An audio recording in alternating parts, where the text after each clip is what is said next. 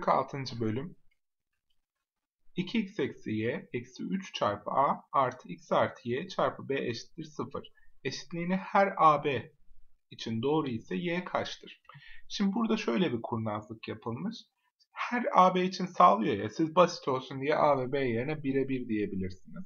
1'e 1 dediğiniz zaman buradaki eksi y buradaki artı y'ye götürüyor ve y'ler gidiyor. Ama siz y'yi bulmanız lazım. Dolayısıyla öyle bir şey yazacağız ki A ve B yerine y'yi değil x'i kaybedeceğiz. y kalacak sadece. Şimdi burada 2x var, burada x var. Ve bunlar toplam. Dolayısıyla ben buraya 1, buraya eksi 2 dersem 1'i 2x ile çarptığımda 2x, eksi 2x ile çarptığımda eksi 2x olur. 2x eksi x, 2x ile toplanınca 0 olur ve gider.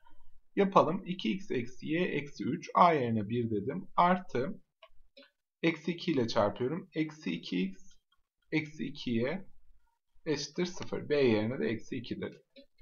2x eksi y eksi 3 artı artıya gerek yok artık dağıtalım parantezi. Eksi 2x eksi 2y eşittir 0. 2x eksi 2x'i götürdü. İşte yapmak istediğim de buydu. Eksi y eksi 3 eksi 2y eşittir 0. Eksi 3y eşittir 3 oluyor y buradan eksi 1 oluyor. Bize nasıl bir kurnazlık yaptı soruda? Her AB için sağlıyor dediğimiz için, dediği için biz 1'e 1 yazacaktık.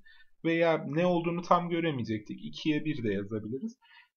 Bize y'yi sorduğu için bizim x'ten kurtulmamız lazım. y kaçtır diyor. x'ten kurtulacağız. x kaçtır deseydi y'den kurtulacaktık. Peki x'ten nasıl kurtuluruz ona baktık. Burada 2x var, burada x var. Ve bu ikisi toplam. Öyleyse ben bunu eksi 2x'e çevireceğim ki 2x ile toplanınca 0 olsun. Nasıl çevireceğim? Şunu eksi 2 ile çarpacağım. O sırada bunu da sabit tutacağım. Yani 1 ile çarpacağım. Burası 2x, burası eksi 2x olacak. Birbirini götürecek. x'ten kurtulunca sadece y kalıyor. Bu şekilde soruyu çözüyorum.